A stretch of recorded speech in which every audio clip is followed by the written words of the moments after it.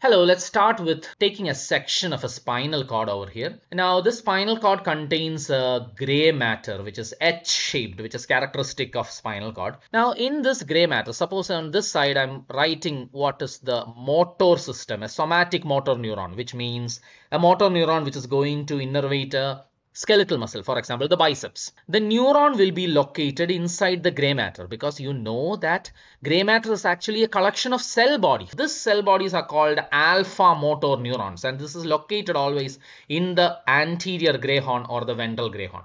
Let us now have a look at where is the axon of this neuron. The axon is coming out of the central nervous system or from the spinal cord. It is coming out as a spinal nerve and it is uh, in effect in the end it will come and innervate with a skeletal muscle.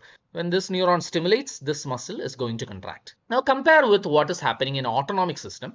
In autonomic system the cell body is not located in the ventral gray horn but it is located over here in between dorsal and ventral and you call it as the intermediolateral gray horn from the intermediolateral gray horn again the axon will accompany the motor neurons like this okay and instead of going directly onto the effector organ in the autonomic system it goes and synapses with another neuron okay? This is that second neuron and this neuron is the one which goes to the effector organ. In this case i have drawn a gland which is giving off some secretions. Uh, in the autonomic system you can see that big contrast with the motor system. In motor system you only have one neuron from the anterior horn cell down to the uh, skeletal muscle but for the autonomic system you have two neurons the first neuron is called a preganglionic neuron and the second neuron is called a postganglionic neuron and you guessed it right, this is called a ganglia. Now what is a ganglion?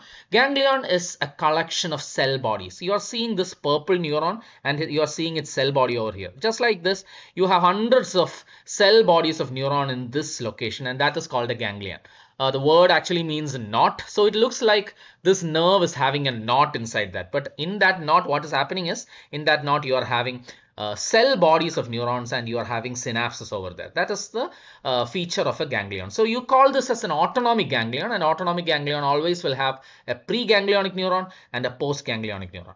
Now let us have a look at the autonomic system in the anatomy. This is a classic picture of the autonomic nervous system from Henry Gray's uh, textbook of anatomy.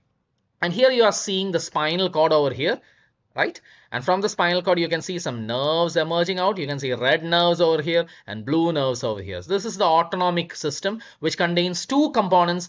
The red ones that is shown here is called the sympathetic system and the blue ones that you see in the upper part and in the lower part is called as the parasympathetic system.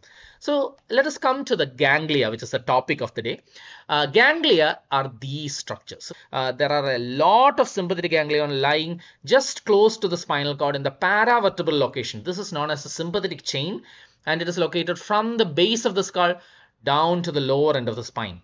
In contrast, you can see these ganglia little bit near the target organ okay or within the wall of the target organ that will be location of these ganglia and this is called parasympathetic ganglia so sympathetic ganglia are very close to the spinal cord and the parasympathetic ganglia are far away from the spinal cord and they are nearer the target organs okay? That itself will give you a very very important point and that's the point that i'm going to mention now. Sympathetic system will have a preganglionic neuron to be short the preganglionic neurons of sympathetic system will be short and the postganglionic neuron will be long because the target organ will be here so the postganglionic neuron will be long. This is a characteristic feature of a sympathetic system. But if you compare that with the parasympathetic system, parasympathetic system will have long preganglionic fibers and shorter postganglionic fibers. Now anatomically you can see one more feature. The sympathetic ganglia are connected to the spinal cord by this system. Okay, you can see that it is connected only from this part of the spinal cord. To be precise, it is connected only to the thoracic and the upper lumbar part. So the sympathetic system is called the thoracolumbar outflow because uh, it is only from the thoracic nerves and the lumbar nerves that the sympathetic ganglia are connected to. If you actually uh, cut off these connections, then you completely cut off the sympathetic system from the body. Okay. Now, if you compare that with how this blue neurons are, the blue neurons are located in some cranial nerves, some specific cranial nerves. These cranial nerves are 3, 7, 9 and 10. So those cranial nerves and these lower sacral nerves uh, encompass what is called as the craniosacral outflow. So the parasympathetic system is a craniosacral outflow and the sympathetic system is a thoracolumbar outflow. Okay, this is a the anatomical differences between the sympathetic and the parasympathetic system. Thank you.